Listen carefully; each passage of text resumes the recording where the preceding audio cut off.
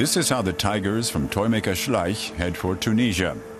Paul Kraut, who's headed the company for 10 years, sends them there to be painted. He's had some close calls with authorities there.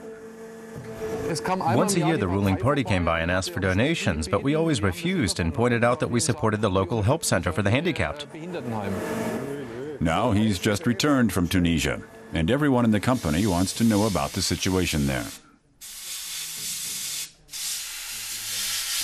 Schleich's German headquarters paints prototypes, which are then copied in Tunisia. Paul Kraut answers workers' questions about the current events there candidly. Hi, I've brought a few snapshots from Tunisia if you want to have a look at them. You know a few of these people. This is a cell phone video made while we were speaking to the workers for the first time. It was very ähm, moving. Ich habe es Ihnen schon gesagt, es war extrem bewegend. Gucken Sie es mal an, das ist echt super. The boss still gets emotional about what happened in Tunisia. Ja gut, Samir natürlich. Ja, Ihr Bruder, der ich glaube, der Marc, genau.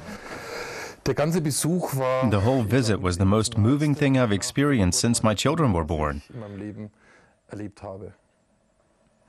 Ähm, ich hab's ein bisschen It was like 1989 when the Berlin Wall fell. Die- die You felt the full range of Äh, emotions from the people there. Menschen alles, was uns- was es Fear, insecurity, hope, joy, freedom. Everything at the same time. Freiheit, es war alles gleichzeitig zu spüren. People cried, ähm, they sang, and they celebrated. Sangen die Leute All of it together, and right in your face. gleichzeitig, jetzt und ganz You can see it with me. I still get goosebumps when I think about how it was. Schleich began sending its animal figures to Tunisia for their paint jobs in the 1980s. Paul Kraut has known the country since his first visit there as a boy. His father came up with the idea to have the work done there. gesehen, wo wir drüben waren? Some of the German staff accompanied Kraut to Tunisia two years ago and still correspond with workers there. We asked if they had been worried. Ja, natürlich, das war unser erster Of course, that was our first reaction. We immediately thought of the women and the other staffers there.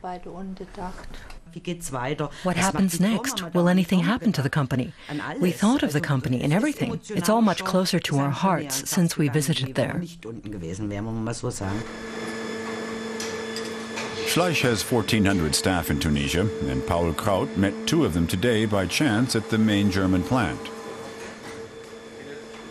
They've come to Germany for advanced training. The boss is glad they're doing well. It's great in Tunisia now, better than 20 years ago.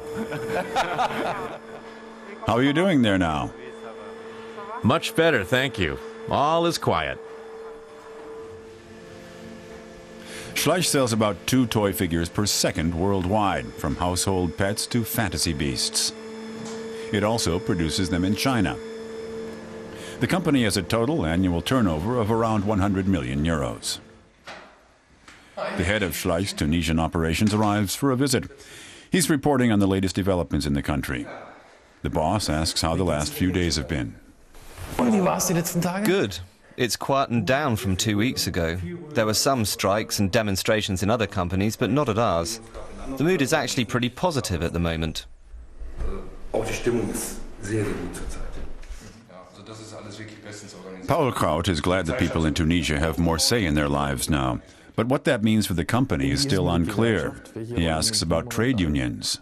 Die Gewerkschaft ist die größte Gefahr. The union is the biggest danger. It's organised strikes, but no longer has control.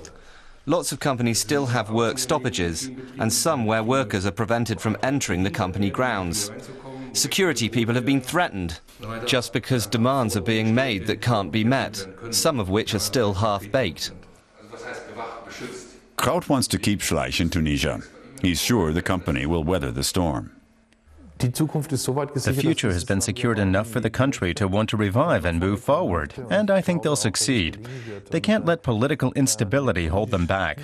I believe now as before that the Tunisians will find their way. Ich glaube nach wie vor daran, dass die Tunesier einen Weg finden werden. Paul Kraut says he's heading back to Tunisia in the coming days. By then, these tigers should already have their stripes.